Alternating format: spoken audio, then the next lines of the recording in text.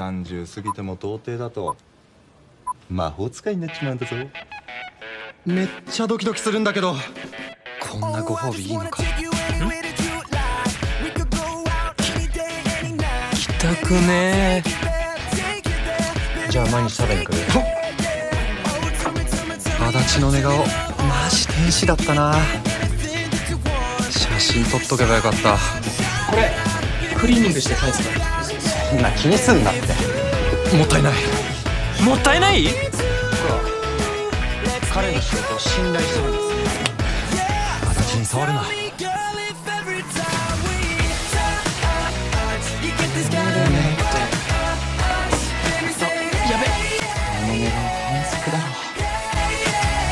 うなじのほくろめっちゃエロい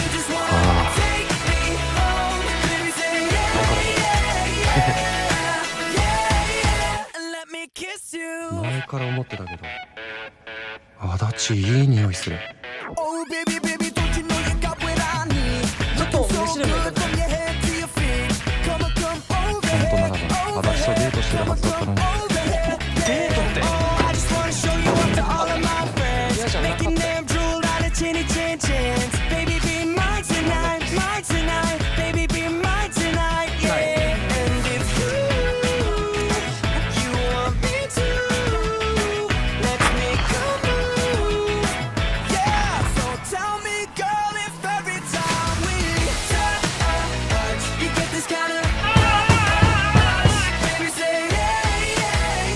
お前のこと好きなんだ。スロ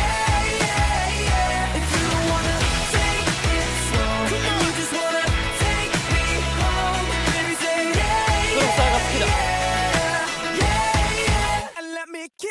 もしかして今俺のこと考えてた？